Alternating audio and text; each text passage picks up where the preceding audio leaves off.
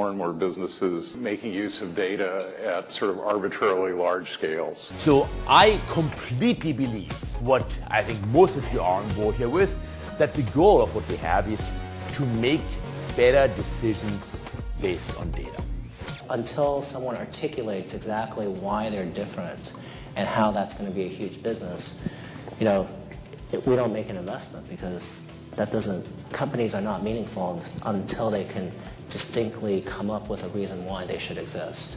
The opportunity that Mu Sigma took to position themselves as an integrator between both the data and the analytics, the math and the data knowledge, I thought that was very good as well. I think anybody can benefit from kind of moving up and getting better at analytics. So uh, the goal for me now is not to get everybody to stage five, but no matter where you are, you know, how do we how do we move up?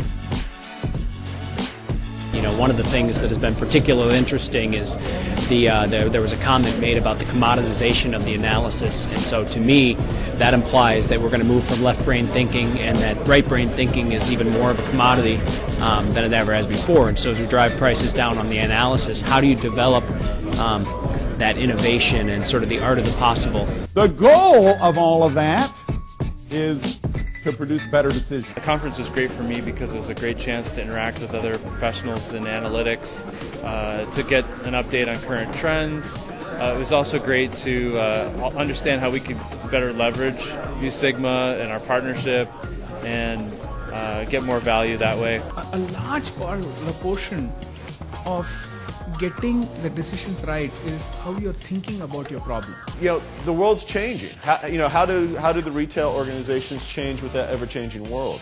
Uh, you know, the competition, all of us look at the competition as the internet. So we try to take both of those models and saying, hey, we're going to focus on innovation. We're going to be more selectively integrated, i.e. we're not going to do everything ourselves. And we're really going to emphasize continuous improvement, not something, again, that had been in the DNA of the company. And try to change the culture at the same time.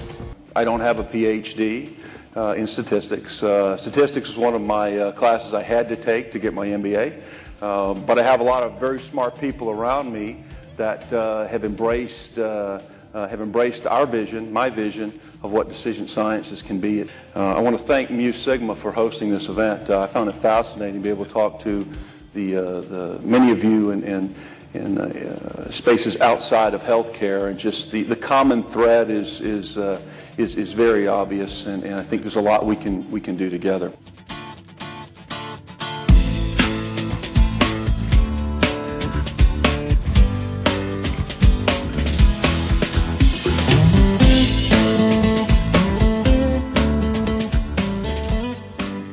And the information age is about manipulation of information, which is computation. And that what differentiates companies in the future. We're all about really differentiating ourselves with computation. I think it will move from, from a science kind of uh, perspective of data and, and, what can we do with it to a much more some sort of behavioral science kind of uh, aspect. For me, the biggest challenge and the biggest reward. Yes, people spend a lot of time stroking their phones and living with their phones and talking on their phones, but actually it's also around how they're interacting on the web, how they're doing other activities that we can then integrate that in to get a fuller picture of that customer. Really happy to be here. A very efficient presentation of kind of the next evolution in enterprise analytics. At Plymouth Rock, we've kind of moved that beyond just the traditional actuarial role so as an example, last year we had an initiative where we wanted to hire more long-term, um, high-potential prospects. And we had all this data around interviews and questions and um, some of the te initial testing and some initial screening, some of the sources where we had gotten candidates. And the HR group came to my analytics group and said, hey, is there a way we can use all of this data to try to target high potential hires into the future?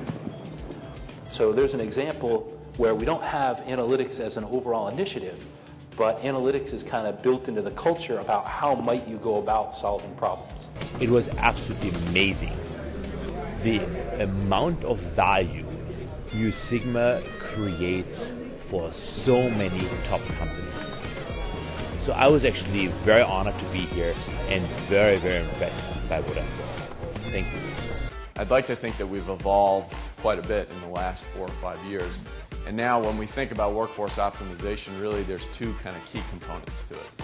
One is simplification, and the other is we call it just getting smart. The venue is beautiful. It's unbelievable. Oh, we'll definitely be back. I can guarantee that.